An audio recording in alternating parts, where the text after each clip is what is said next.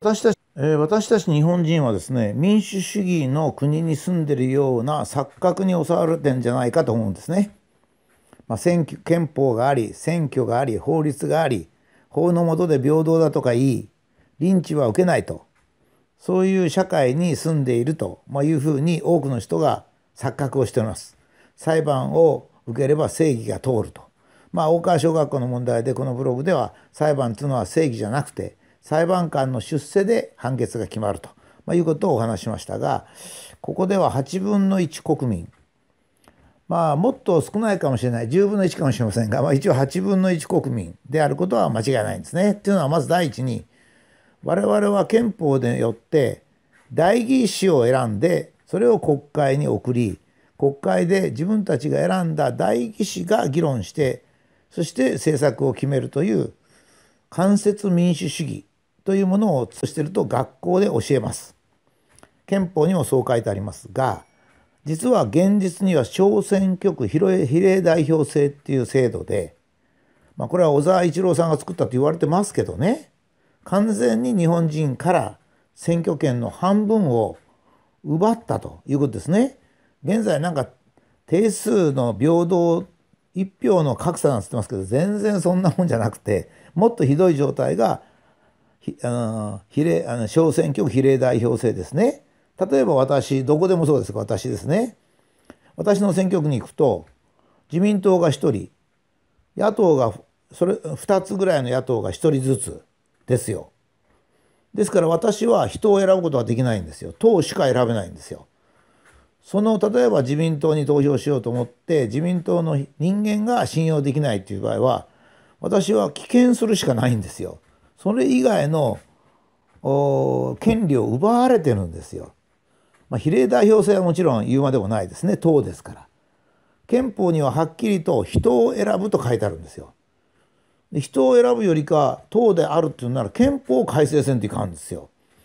憲法を改正しないで憲法に書いてあることを無視する人っていうのはそんなことできる人に日本にいないはずなんですけど正々堂々小選挙区比例代表制っていうのは存在するわけですよ。それで我々はもう権利の2分の1をまずまずまずは失ってるわけですね。だって民主主義なのに投票できないんですから投票するとあって違反憲法違反の選挙制度なんですからねそんなな権利は2分の1しかありませんよね。それで今度はあの人を選ぶでしょそうするとどういうことになるかっていうと安倍さんがそのまあ自民党が280とか300とか取ってそれで、えー、内閣を作って首相がやって首相が獣医学部を作ろうと思って家計学園を認可するとそうすると首相には認可権がないって言うんですよ。誰にあるのっつったら文部科学大臣だっつうんですよ。文部科学大臣もないんです実は次官にあるんですね。官僚なんですよ。でどうして？っつったらね文部省が獣医学部は作らないという通達を出したって言うんですよ。そんな通達って何で出せんですか？だって主権は国民にあるんだから。官僚っていうのは政治家我々が選んだ代議士の言うことを聞くんですよ。代議士はまず第一選べませんからね。まあ党でもいいですよ。もちろんあの安倍さんが決めればいいんですよ。安倍さんとか自民党が決めればいい。そし私が自民党を支持してても支持しなくてもですよ。民主主義っていうのはあの自分の意見を通すわけじゃありませんからね。選挙をして多数意見で一応運営する。少数意見を尊重しなきゃいけないけどそれはあくまでも尊重するんである。家計学園を作るっていうのに反対安倍さんが決めたからいけないっつってるんですよ。そんなことありませんよ。官僚が決めちゃいけないんですね。だけどもまあアメリカのような場合はですね大統領が変われば官僚が大きく変わると、まあ、いうことですのでいいんですけど日本は官僚は変わりません。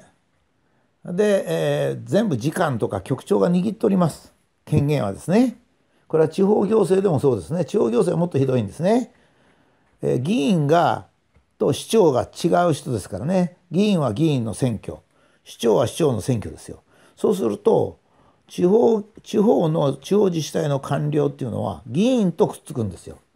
議員は個別の利害を代表しますからねそれと官僚が結託して市長がどんなに市民に支持されても政策を実行できないんですよ。だからそこでまた2分の1権利を失ってますよ。だって選挙をいくらしてもですね選挙で僕らが当選した党でもまあ本当は人なんだけど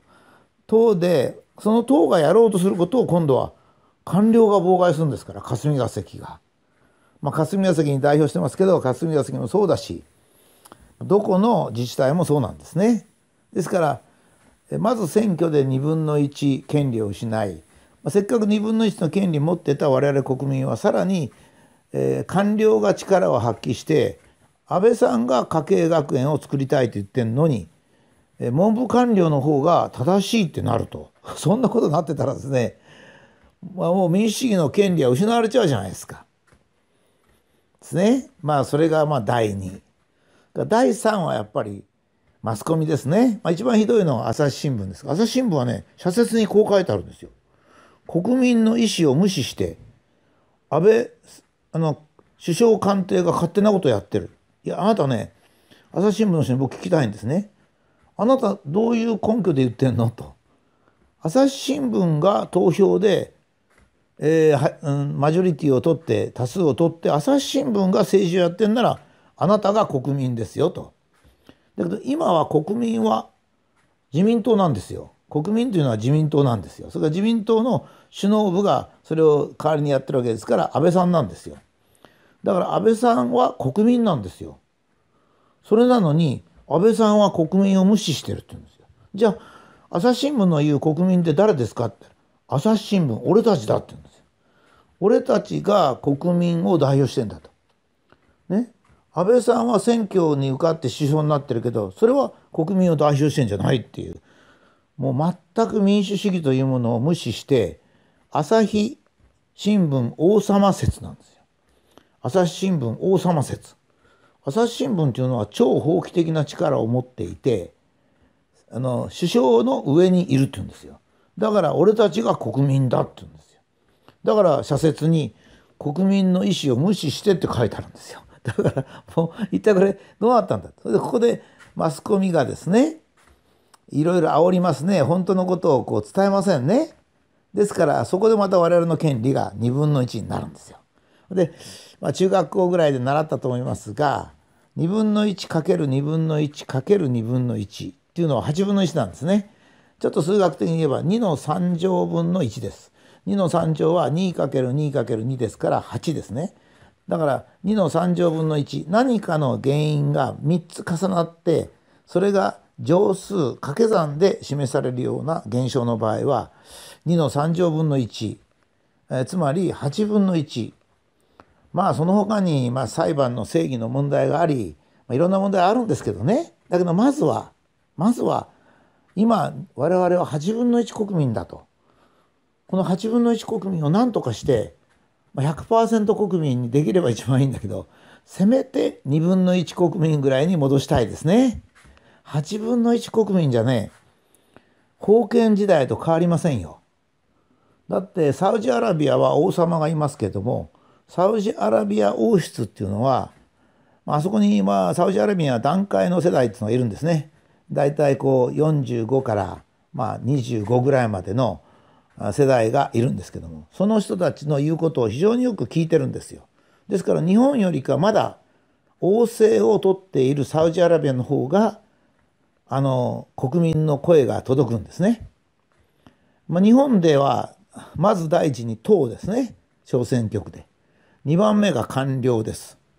3番目が朝日新聞を中心としたメディアこれが8分の7を取ってるんですよ。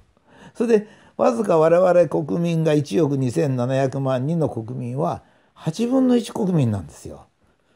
なぜこれを我慢してんのかいや我慢してんじゃないって言うかもしれませんね。言う手段がないんだとマスメディアを抑えられてるからだいやそんなことないんですよ。例えば誰をテレビに出すかテレビのコメンテーターとして誰がいいかっていうのはですねやっぱり8分の1国民のコメンテーターを日本人が支持してるんですね。ですから加計学園とか森掛とかそういうことばっかやってるわけですよ。小選挙区を支持してるのもそうですね。ですからまずは私は私民主主義進歩派なんですよ。国民が国民の日本だとそれを作りたいと思ってるので現在の8分の1国民の日本は私は大変に不満であります。